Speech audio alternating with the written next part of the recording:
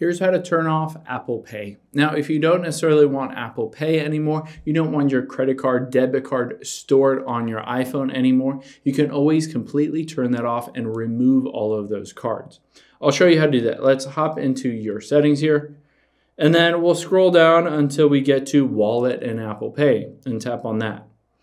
Now here at the very top, you can see Apple Cash. If that is turned on, just toggle that off so that you disable that portion of your Apple Pay.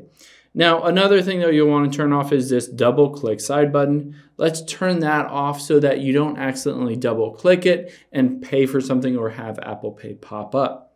Now, if you want to completely remove Apple Pay, what you need to do is basically remove the cards associated with your Apple Wallet. So let's tap on any of these different cards, Apple Cash, Apple Account, or if you tap on your credit card here, you can always just scroll to the very bottom and you can see at the very bottom there's the option to remove that card. So just tap remove card that will completely delete this credit card.